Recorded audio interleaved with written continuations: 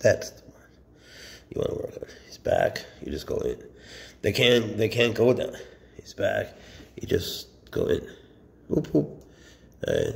If he goes over the thumb, here he can't bite. Another little thing. If you're back here, you can prevent it with this or this.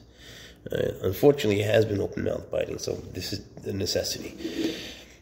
I'm working on getting back to the way we used to be, but you have to know how to do this. So I figured it's a good chance to sort of help people. Here he's in the middle. He's straight up. That's good for nothing. So you want to be forward or back. So if he's going back, which now he's not, if he's going back, you're going to come in the front like this, see?